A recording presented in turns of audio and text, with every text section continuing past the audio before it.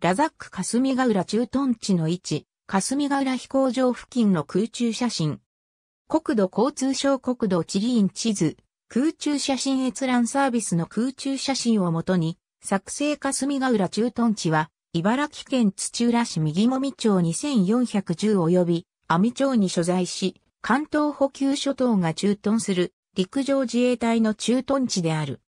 南側に隣接する茨城県道203号荒川沖網線を越えた位置に、航空学校霞ヶ浦校が使用している霞ヶ浦飛行場が隷属する分屯地として朝日分屯地がある。駐屯地司令は関東補給所長が兼務。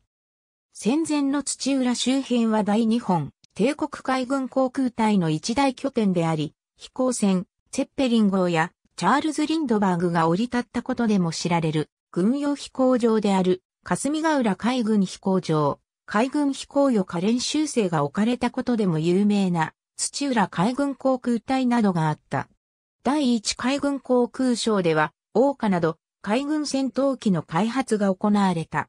また山本56が大佐時代に当地で副長及び航空学校教頭などを務めたことで銅像が立っている。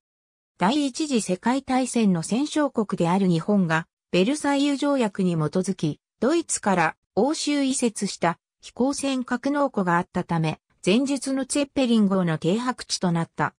戦後は取り壊されて、現在の霞ヶ浦駐屯地のほか、茨城大学の音楽部キャンパス、遺跡の沖、共和発行キリン、東京医科大学茨城医療センター、茨城県立医療大学などになった。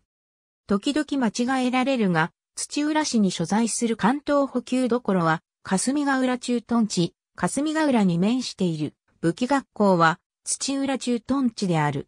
以前は、最寄りの常磐線荒川沖駅から専用線が敷かれており、昭和50年頃までは年に数回貨物列車が通っていた。現在は線路が撤去され、並走の道路が拡幅されている。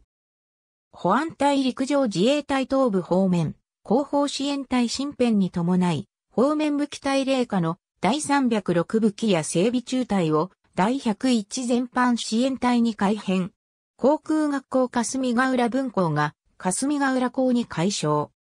朝日分屯地は茨城県稲敷郡網町うずら屋3-47に所在する常磐線荒川沖駅より約 2km、霞ヶ浦駐屯地から約 3km の閑静な住宅街に囲まれた小さな分屯地で関東補給どころ朝日燃料市どころが駐屯し、燃料の補給、保管をしている。東部方面隊霊下部隊、機関。ありがとうございます。